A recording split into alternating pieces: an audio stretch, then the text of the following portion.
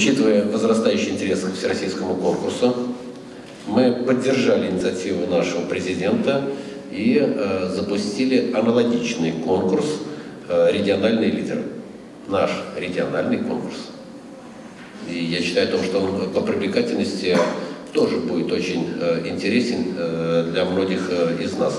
Кстати, я сегодня еще раз повторил то, что вот мы здесь э, у Надежды Глебовны на ее площадке говорили в субботу, когда проводили э, совет, э, связанный с развитием IT-технологий, утверждали стратегию развития IT-сектора.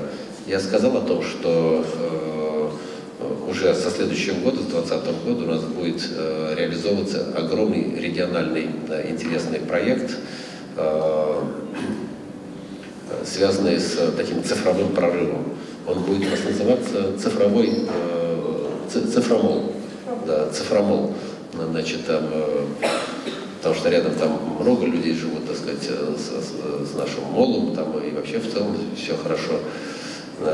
Поэтому давайте вот такой вот проект запустим. Так и здесь. Мы запустили аналогичный областной конкурс «Региональные лидеры». И сегодня у нас есть уникальная возможность дать старт третьему сезону.